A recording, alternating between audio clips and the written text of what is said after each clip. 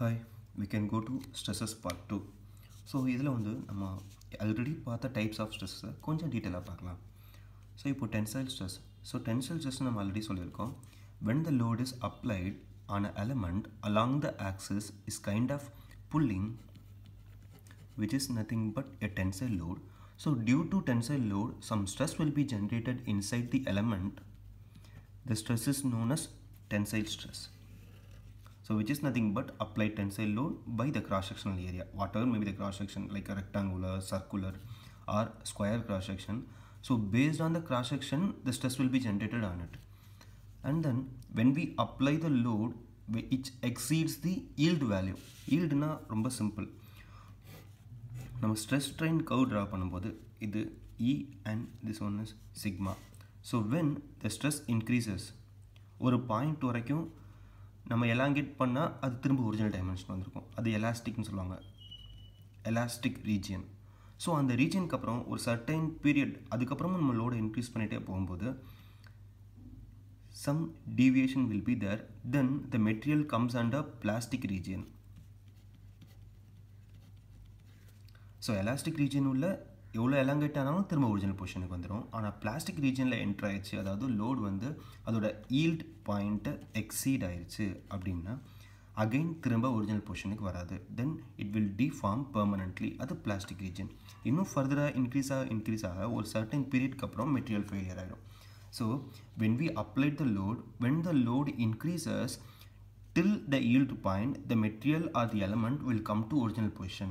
So when it reaches the yield point, it will goes it will go under the plastic region then it will never come to its original position so plastic na complete permanent deformation இருக்கும் so இன்னும் ஃபர்தராக increase பண்ண increase பண்ண ஒரு certain பாயிண்டில் போய் failure ஆகிடும் அது அல்டிமேட் சொல்லுவாங்க ultimate point and yield point yield பாயிண்ட்ங்கிறது என்னன்னா ஒரு ஆப்ஜெக்டோட எலாஸ்டிக் லிமிட் ஈல்டு பாயிண்ட் கம்மியாக இருந்தால் அது ஒரிஜினல் பொசிஷனுக்கு வந்துடும் ஈல்டு பாயிண்ட்டுக்கு அதிகமாக இருந்துச்சு அப்படின்னா அது அப்படியே பெர்மனெண்ட்டாக டிஃபார்ம் ஆயிரும் இன்னும் இன்க்ரீஸ் ஆக இன்க்ரீஸ் ஆக அல்டிமேட் பாயிண்ட்டை ரீச் ஆகும்போது அது ஃபெயில்ட் ஆகும் இது டக்டைல் மெட்டீரியலுக்கு ஸோ இது இன்னும் தெளிவாக பார்க்கலாம் அப்படின்னா சர்டன் அதுக்குன்னு ஒரு செப்பரேட் வீடியோ போடலாம் so no come on come to tensile stresses so here when I apply the load along the axis which is kind of pulling the stresses will be generated inside it that is tensile stress and that is nothing but load by area So due to the elongation, some strain will be there.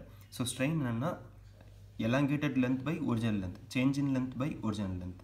Hooke's padi, stress on strain is directly proportional. Arko, so now come to compressive stress. So this is similar to the tensile one but opposite in direction. The same element we have to apply the load along the axis but it kind of pushing. So previous case we have to pull it and here we have to push it so due to pushing the material will be compressed. So internally some stresses will be generated. So the compressive stress is known as load by area. So here also similarly some elongation or some compression will be there. So based on the strain will be change in length by original length. And then come to direct shear. So we can take as an example of rivet so when two plates are connected by rivet and applied load like this, so at the middle portion of the rivet will go under some sliding in material. So when the load exceeds, there is a chance of sliding of material at the middle of the rivet. So due to sliding of material and sliding of atoms and molecules, there will be shear stress which is nothing but direct shear force divided by the area. Area is nothing but the cross section area of the rivet. So direct shear na when we apply the load directly, so due to the applied load some sliding of material will be there in the element. So due to the sliding of material shearing stress will be there. So these are the basic direct stresses. And now apart from the direct stresses which are tensile, compressive and direct shear, there are additionally two important stresses. One is torsional or twisting and another one is bending. So we have seen in strength of material subject torsional equation and bending equation. So we can see simply and if you need you can mention in the comment we can see in detail. So torsion now so consider a rod, rod element. So we have to twist the rod element for a particular theta angle about its own axis. So when we twist, so there is some material sliding inside the element. So due to that, shear stress will be generated. So we can calculate the shear stress by using torsional equation T by J is equal to tau by R. T is nothing but your torque and J is nothing but polar moment of inertia. For circle cross section we can say that J is equal to pi by 32 d power 4 and then C is nothing but modulus of rigidity and theta is angle of twist and length is length of the rod.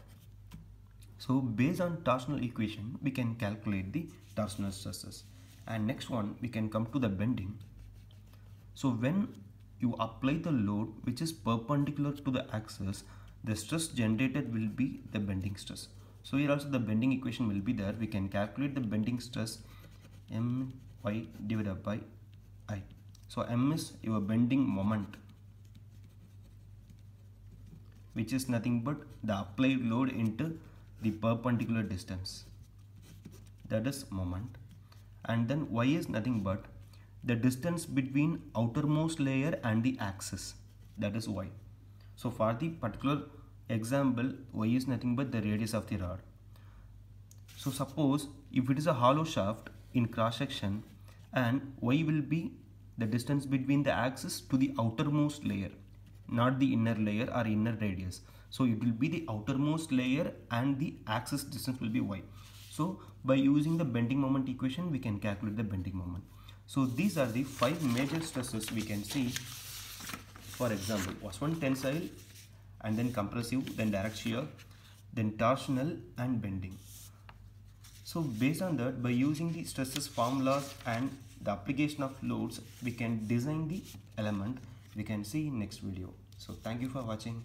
Subscribe my channel. Thank you